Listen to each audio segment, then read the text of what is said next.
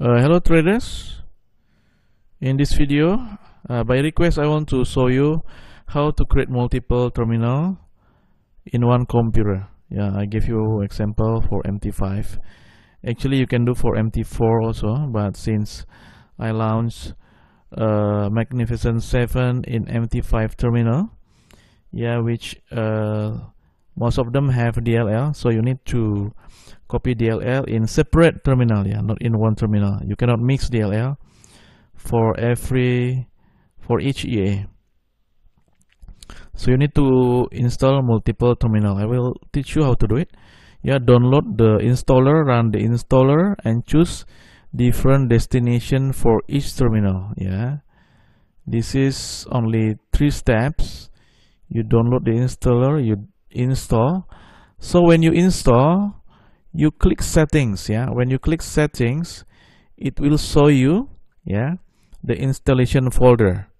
So you need to add yeah terminal 2 you put dash 2 terminal 3 you put dash 3 and so on yeah? And then click next and finish.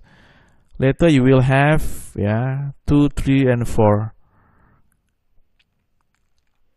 yeah this is an example for every terminal. Yeah this is the we call it root mt5 terminal. You copy the dll here ms img 32 dll or have oleacc dll you copy here.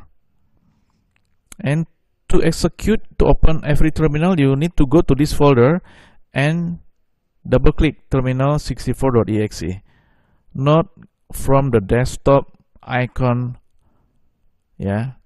Not from the shortcut in the desktop. You need to go to these locations and double click. I show you where's the locations.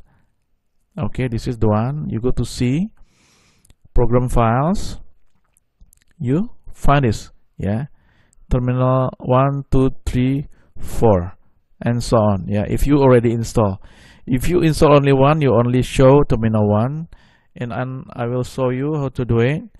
You double click the installer. Yeah. Yeah it's, it's it's like in the in the this pdf it will show you this one yeah. You click settings yeah. You click settings. And you need to add yeah terminal I already have four. So this is terminal number 5 that's 5 yeah. And just click next and finish.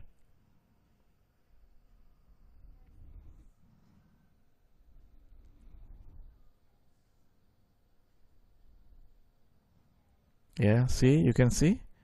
It create terminal 5 yeah. When you finish it will pop up a new terminal. So how to open each terminal? You need to go to every this installation folder. Yeah. You want to open terminal 1 you need to go here and click the exe file. Yeah. If you want to go to terminal 2 you need to go to uh, just execute the exe file. Go to terminal 3 click exe file. So you can see I have many terminal open. Yeah. Okay this is the one.